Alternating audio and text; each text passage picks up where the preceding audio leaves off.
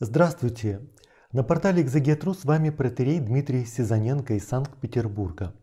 Сегодня мы с вами поговорим о словах Христа, которые несколько раз повторяются в Евангелии от Матфея и также встречаются в Евангелии от Луки, о плаче и скрежете зубов. Важно понимать, что Христос обращает эти слова прежде всего к своим ученикам и к людям благочестивым, религиозным, верующим. Именно поэтому они вызывают всегда особую тревогу и беспокойство, когда читаешь Евангелие. Для того, чтобы расшифровать этот символ, как мы обычно с вами делаем, необходимо его рассмотреть в контексте. И прежде всего важно понимать, что эти слова обычно используются как некий финальный аккорд, как некая мораль в притче, и всегда завершают собой наставление Иисуса Христа, тем самым подчеркивая важность слов. И очень часто они сопровождаются двумя другими образами. Прежде всего, это образ кого-то, кто выброшен вон, изгнан во тьму внешнюю, и образом огненной печи, неугасимого огня. Что касается скрежета зубов, если мы воображаем себе ляск зубов, то мы можем представить себе, что речь идет о каких-то гиенах или каких-то гнусных существах, которые ждут того момента, когда человека выбросит им на съедение, и они с нетерпением уже скрежещут зубами. Но в действительности это не совсем так. Это выражение встречается в псалмах, и оно описывает прежде всего разочарование, гнев, зависть, ревность нечестивых людей, которые видят, что праведник живет достойно и честно. То есть, прежде всего, нужно понять, что этот образ выражает не какую-то внешнюю злобу, внешнюю злую силу каких-то хищников. Прежде всего, это образ, который выражает наше разочарование, которое может нас постичь. И евангелист Лука его употребляет реже, евангелист Матфей чаще употребляет, потому что он хотел бы проповедь Иисуса Христа вписать в традицию великих пророков Ветхого Завета и премудрости. Именно поэтому он заимствует этот образ из Ветхого Завета, чтобы подчеркнуть это преемство. И если мы внимательно присмотримся, э, то мы увидим, что евангелист употребляет это выражение к определенной категории лиц. Прежде всего, это употребляется применительно к людям, которые не имеют веры, но считают, что если они рождены иудеями, если они принадлежат избранному народу, то тем самым они автоматически становятся сынами царства, не имея веры, не имея живых отношений с Богом. Их ждет большое разочарование. Когда речь идет о людях, которые творят неправду, и они тем самым похожи на сорняки или плевелы в поле, что происходит с сорняками? Конечно, их вырывают выбрасывают вон, сжигают, и тоже таких людей ждет разочарование. Еще есть категория людей, которых Христос сравнивает с несъедобной рыбой. Она попадает в сети рыбаков, но она несъедобна, ее нужно немедленно тут же выбросить вон. Конечно, когда речь идет о госте, оказавшемся на брачном пире, и при этом отказывается надеть брачные одеяния, потому что он не способен ответить на щедрый дар, он не способен оказаться на высоте божественной щедрости и милосердия, его тоже ждет разочарование. Для него райское блаженство и щедрость Бога станет мукой. И другой образ слуги, который пользуется отсутствием хозяина и видит, что хозяин задерживается, злоупотребляет своим положением, он начинает издеваться, бить своих сослуживцев, других слуг и пьянствовать в надежде на то, что хозяин задержится и он сможет насладиться нечестием.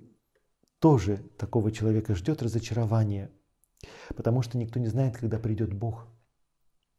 И, наконец, о слуге, которому господин доверил один талант, и вместо того, чтобы воспользоваться этим талантом, этот слуга его закопал в землю.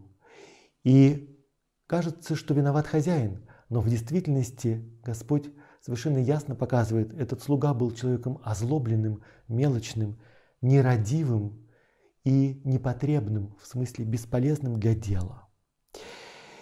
И фактически Христос нас предупреждает, что каждый из нас может оказаться на месте этого человека. Нам кажется, что мы заняты чем-то полезным, что мы угождаем Богу, что мы верующие люди, благочестивы, исполняем какие-то предписания, но фактически, когда придет Господин, может оказаться, что мы такие же нерадивые и непотребные, и заняты не тем, и на самом деле угождаем себе, и нас может постичь большое разочарование. И вот для того, чтобы пробудить в нас бодрствование, Господь употребляет этот яркий образ из псалмов.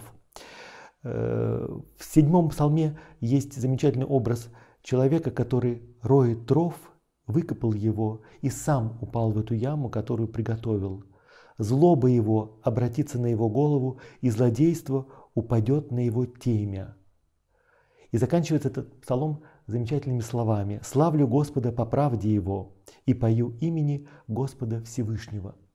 Для того, чтобы э, нам помочь правильно э, поместить в перспективе эти слова, для того, чтобы мы не были обиженными на Бога, на судьбу, на других людей, но могли увидеть все это немножко с другого конца. Итак, история человечества имеет свой смысл – и конечное завершение том событии, которое в Священном Писании называется суд. Он совершится в конце времен, и в тот момент мы увидим в истинном свете все наши поступки, мы увидим истину того, как мы себя вели на этой земле. И поэтому самым тяжелым преступлением будет, конечно, отказ от полученной любви, от щедрости Бога, Именно этот отказ станет источником разочарования, станет источником слез, когда мы увидим перед лицом Бога в неприкровенном виде все наши грехи, ошибки и упущения. Но Евангелие – благая весть, и поэтому евангелист никогда не хочет оставить своих читателей просто в состоянии растерянности, недоумения. Очень важно – извлечь из этого урок надежды, ободрения и радости. В этих словах нет никаких оснований видеть проявление жестокости или бесчеловечности Бога, жизни, судьбы.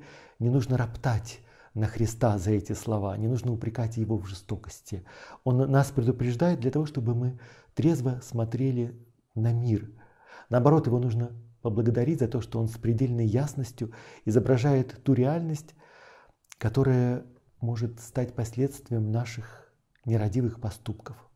Но при этом последнее слово всегда остается за милостью, за щедростью, великодушием Бога. Именно поэтому псалом заканчивается словами «Славлю Господа по правде и пою имени Господа Всевышнего».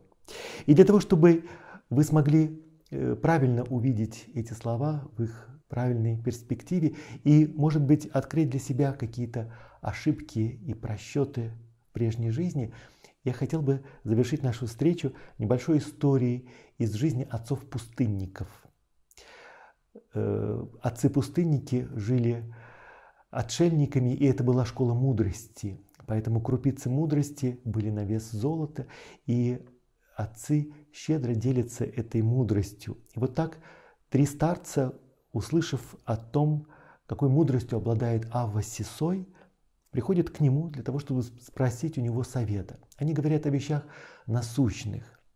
Первый говорит ему, Авва, что я могу сделать для того, чтобы спастись от реки огненной? Но старец ему ничего не может ответить.